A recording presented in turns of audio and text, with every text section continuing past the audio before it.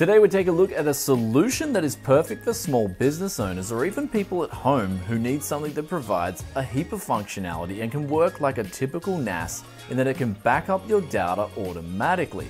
Though also work as a home security, home theater PC, and also stream to all your devices on the network. Though with a price tag of 305 USD or 435 Aussie, is it worth your money? Let's find out.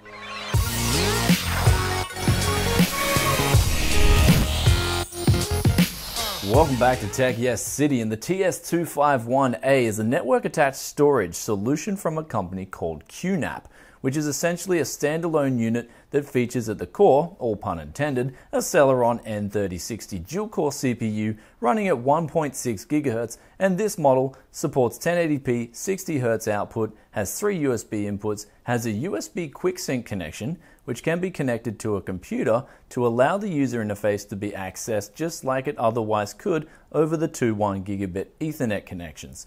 Though with this model you can accommodate two of your own hard drives, put them in and the QNAP will do the rest for you in terms of setting things up. With the TS251A having the option to support JBOD, aka just a bunch of disks, RAID 0 or RAID 1. I had here loan samples from Seagate, the 10GB IronWolves, or in this case Wolves, which are dedicated and optimized for NAS storages.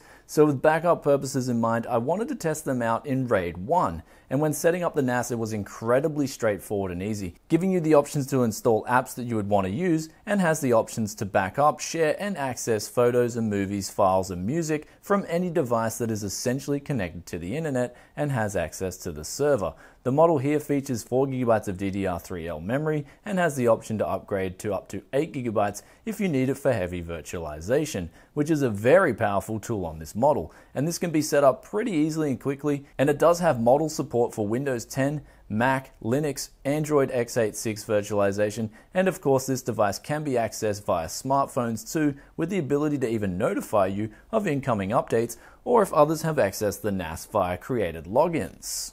Though with a heap of different apps available, I wanted to see how the TS251A could benefit my workstation needs and also see what apps I really liked and why. Firstly, the ability to automatically back up data on RAID 1 configuration. Confirmed. This is easily done via the App Center, where you can even upload and sync automatically to a variety of cloud servers, and also schedule automatic backups on your computer and to the selected cloud server.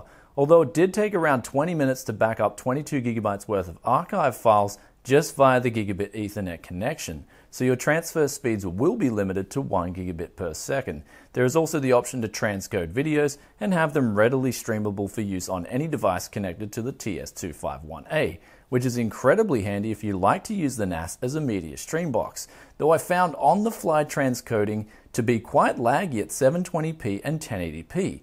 Though at 480p and below it was very smooth, you can also connect this device to a TV, and this is where the included remote comes in handy as you can use it in conjunction with a keyboard and mouse to essentially use it as a desktop and home theater PC, having the option to play music, watch movies, and even create and edit Word and Excel documents via the LibreOffice app. There is even the option to use BitTorrent, those search results were pretty limited. Though of course there will be those that ask can it play games?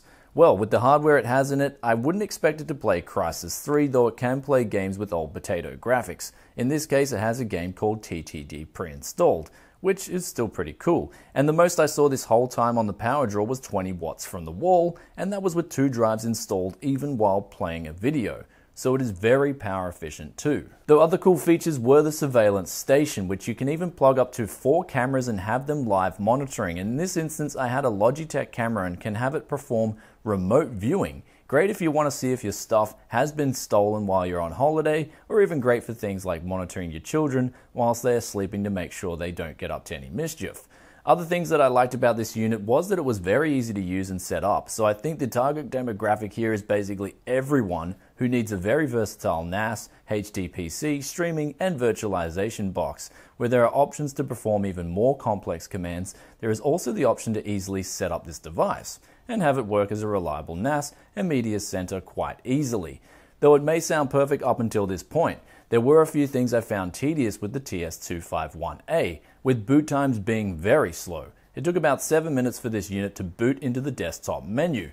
and while there is an included SD slot reader, and upon inserting my memory cards that I use for video recording, I was prompted with the message to purchase an additional license in order to read the files stored on the memory card. I wasn't too pleased about this, especially since the developer of the software is QNAP themselves. I'd like to see this license included with the product for free. Also, when transcoding large videos to 1080p, they did take quite a while. This is maybe a task that you would like to schedule before you go to bed.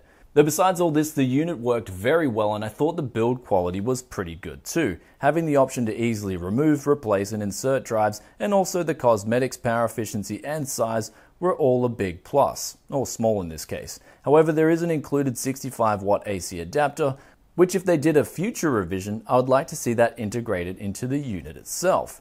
Though for 305 USD or 435 Aussie, you get a unit that is very capable, has great ease of use, a great assortment of apps and functionality, and allows you to add in your own drives, which in this case the Seagates did a fantastic job. Even when I was deliberately shaking the device, it still worked. So kudos to vibration control implemented in the IronWolf drives. Anyway guys, that's about it for today. Let me know in the comment section below what you think of the QNAP TS251A. Is it something that you would need in your home or office, or are you just a one computer kind of guy? Would love to read your comments and opinions as always, and I'll catch you in another tech video very soon. Peace out for now. Bye.